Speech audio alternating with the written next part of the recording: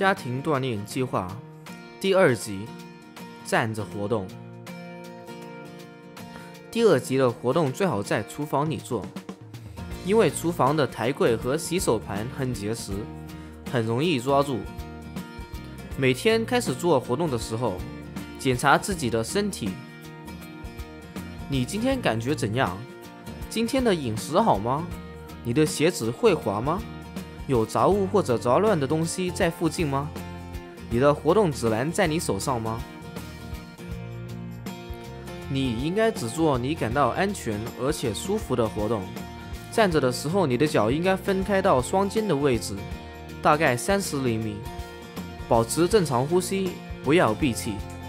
保持动作的意思是保持那个动作三秒钟，自己在心里默默的数一秒、两秒、三秒。如果需要的话，先开始做几个动作，但是每个动作每天要做几次，过几天再慢慢的加上其他的动作，直到你能把所有的动作做完。等动作全部熟悉了。每个动作的数量增加，逐渐减少扶厨房的洗手盘，直到你可以不用辅。如果这个计划里的任何一个动作对你产生痛楚或者难呼吸，你应该停止并且休息。